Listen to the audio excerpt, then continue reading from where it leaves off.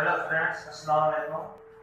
Myself Abdul Ghaffar Mungira with my YouTube channel AGM Biology.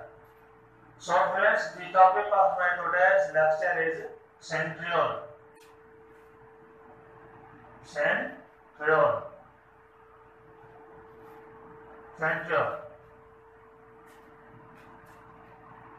In animal cell, microtubule organizing center is present near the nucleus. In animal cell, microtubule organizing center is present near the nucleus which is known as a centrosome. It is known as centrosome. This is known as a centrosome from which microtubule arise. So, friends, during cell division, during cell division, nine sets of triplet microtubules occurs from centrosome to form a centriole. Nine triplet triplet microtubules tubules arise from arise from arise from centrosome to form centriole centriole during cell division nine triplet microtubules arise from centrosome to form centriole so now we will study about that that why centriole is formed.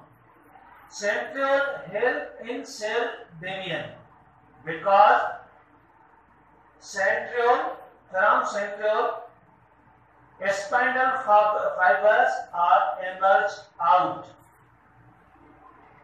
Spindle fibers, spindle fibers emerge out from emerge out from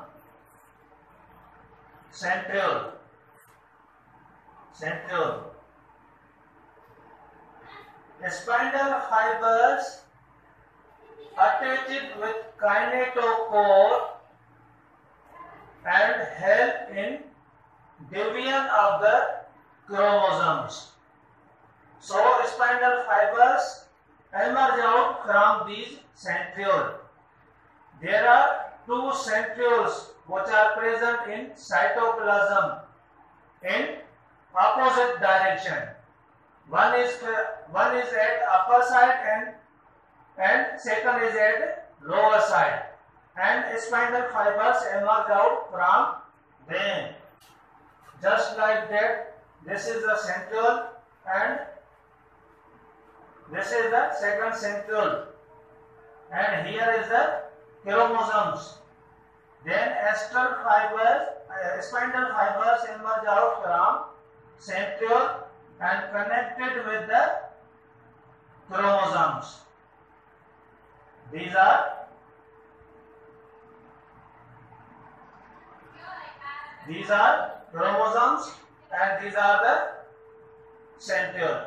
So the main function of centriole is, is to help in the cell division. Centriole is present in animal cell but it is absent in higher plants. Centriole, centriole is uh, present in animal cell, present in animal cell. But absent in absent in higher plants. Plants. So friends this was all about the centriole thank you so much